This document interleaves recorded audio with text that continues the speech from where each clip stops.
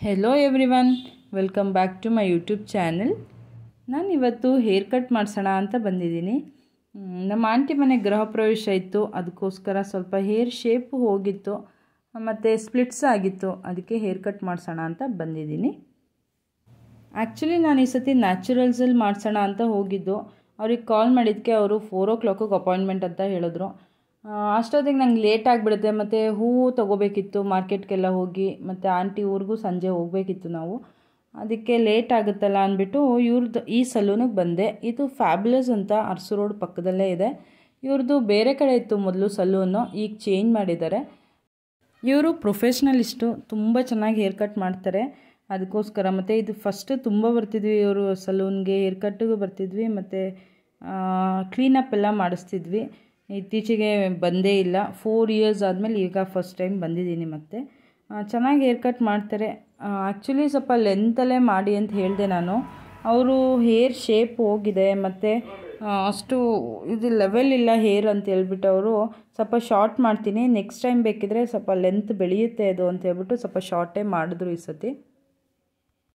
Hair cut ಮಾಡುವಾಗ ಸಖತ್ ಹೊಟ್ಟೆ ಹೊರಿತಿತ್ತು. ಎಷ್ಟೆಲ್ಲ ಎಣ್ಣೆ ಎಲ್ಲ ಹಾಕಿ ಬೆಳೆಸಿರ್ತೀವಿ.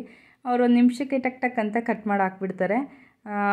ಆದರೆ ಹೇರ್ ಚೆನ್ನಾಗಿ ಕಾಣಬೇಕು ಅಂದರೆ ಕಟ್ ಮಾಡಿಸ್ಲೇಬೇಕಲ್ವಾ? ಅದಕ್ಕೋಸ್ಕರ ಕಟ್ ಮಾಡಿಸ್ದೆ. ಮತ್ತು ಹೇರ್ ಸ್ವಲ್ಪ ತಿಕ್ಕಿಲ್ಲ ನಂದು, ಸ್ವಲ್ಪ ತಿನ್ನಿದೆ ಹೇರು. ಹೇರ್ ತಿಕ್ಕಿದರೆ ತುಂಬ ಚೆನ್ನಾಗಿ ಕಾಣುತ್ತೆ, ಮತ್ತು ಹೇರ್ ಶೇಪು ಎಲ್ಲ ತುಂಬ ಚೆನ್ನಾಗಿ ಕೊಡ್ಬೋದು. ನಂದು ಹೇರ್ ತಿನ್ನಿರೋದ್ರಿಂದ ಅಷ್ಟು ಬೇರೆ ಬೇರೆ ಶೇಪಲ್ಲೆಲ್ಲ ಕಟ್ ಮಾಡೋಕ್ಕಾಗಲ್ಲ. ಹೇರ್ ಸೆಟ್ಟಿಂಗ್ ಮಾಡ್ತಾ ಇದ್ದಾರಲ್ಲ ಅದು ಬ್ರಷಲ್ಲಿ ಹಿಂಗೆ ಸುತ್ತಬಿಟ್ಟು ಎಳಿತಾರಲ್ಲ, ಆಗ ಸ್ವಲ್ಪ ನೋವಾದಂಗೆ ಆಗುತ್ತೆ ಮತ್ತು ಹೇರ್ ಸೆಟ್ಟಿಂಗ್ ಮಾಡುವಾಗ ಹೀಟ್ ಯೂಸ್ ಮಾಡ್ತಾರಲ್ಲ, ಅದು ಹೇರ್ಗೆ ಒಳ್ಳೆಯದು ಅಲ್ಲ.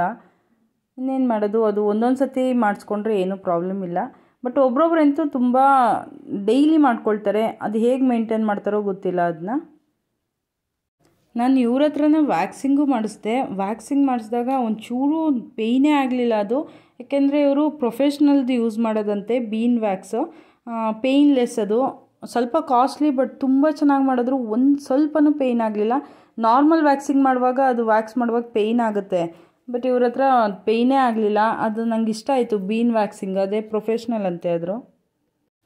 ಹೇರ್ ಕಟ್ಟು ಎಲ್ಲ ಸ್ವಲ್ಪ ಕಾಸ್ಟ್ಲಿನೇ ಹೇಳ್ತಾರೆ ಇವರು.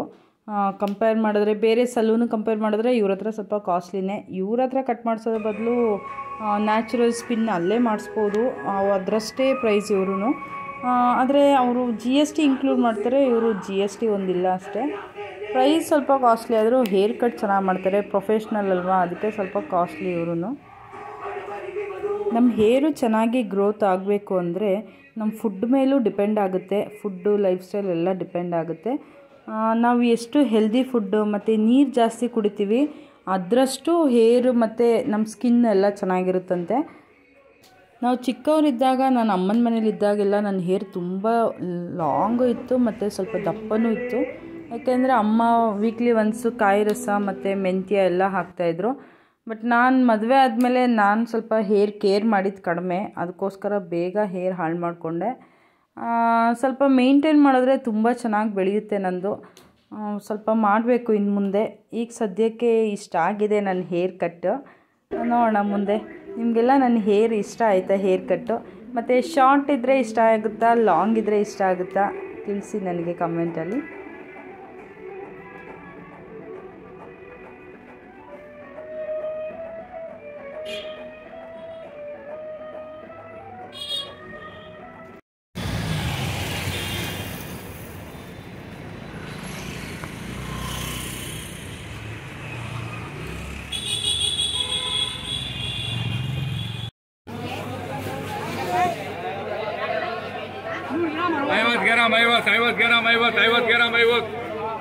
ಹೇರ್ ಕಟ್ ಮುಗಿಸಿ ನಾನು ಮಾರ್ಕೆಟಿಗೆ ಫ್ಲವರ್ಸ್ ತೊಗೊಳಕ್ಕೆ ಅಂತ ಬಂದಿದ್ದೀನಿ. ಐ ಹೋಪ್ ನಿಮಗೆ ಈ ವಿಡಿಯೋ ಇಷ್ಟ ಆಗಿದೆ ಅಂದ್ಕೊಳ್ತೀನಿ ನನ್ನ hair cut video in case ಇಷ್ಟ ಆಗಿದ್ದರೆ ನನ್ನ ವಿಡಿಯೋಗೆ ಲೈಕ್ ಮಾಡಿ ಶೇರ್ ಮಾಡಿ ಆ್ಯಂಡ್ ಕಮೆಂಟ್ ಮಾಡಿ. Thank you for watching